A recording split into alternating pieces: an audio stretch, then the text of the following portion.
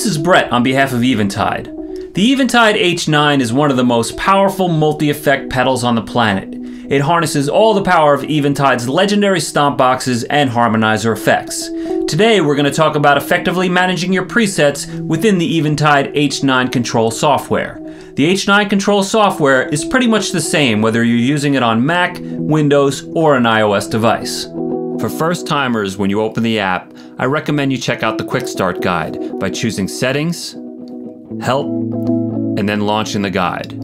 This will walk you through the steps in getting your H9 pedal synced up to H9 Control. I recommend going through each page as it will really get you familiar with how the software works. There are a lot of different ways to manage the algorithms that you own. If you're not familiar with the term algorithm, just think of it as an effect. Or you can think of each algorithm as a different effect pedal, and the presets are different variations of the knob settings within that pedal.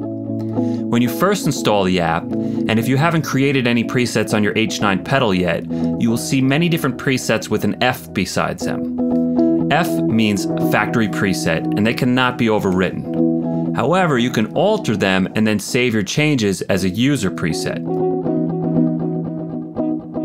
User presets are indicated by the letter U beside them. You can sort your presets by number or name. As you can see here, if you save the preset without altering the name, it shows up in the preset list as the same name with either an F or a U beside it. This can be very confusing, especially if you alter the same factory preset more than once. To avoid this confusion, I highly recommend you naming your user presets something entirely different than the factory preset name. The third type of preset you might see is one with an S besides it. An S indicates that this is a Stompbox preset. You will only ever see one S preset at a time on the screen, as this is the currently loaded preset on the H9 pedal. If you create your settings on the Stompbox itself and want to save these settings to the app, press the Save button. Doing so will then allow you to name the preset and it will turn it into a user preset. If you create a preset that has the same name as a previously created preset, a dialog box will pop up to ask if you'd like to update the settings for each copy of the preset as well.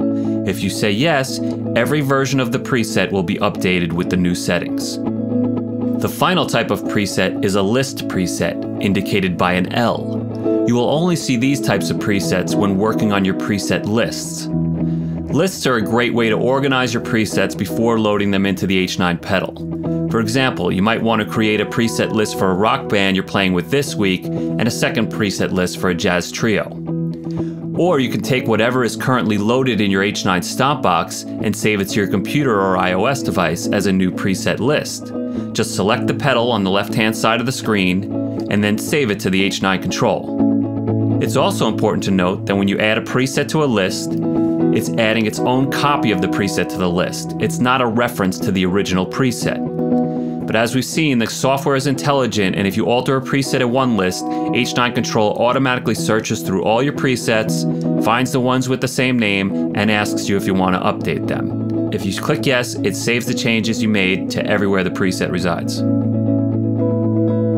If you want to make changes to the order of your list, and you're using either the desktop version or the iPad version of the H9 control, press the Edit List button. Pressing this will allow you to drag and drop presets to the location of your choice. Note that you must click the preset once to select it, and then again to drag and drop. If you're using the iPhone version of H9 Control, first press the preset you'd like to move, then press the More button in the upper right hand corner. Choose Copy Preset, and then choose the location you'd like to move the preset to. And press Paste. For more information and tutorials on the Eventide H9, be sure to subscribe to Eventide Stompbox's YouTube channel.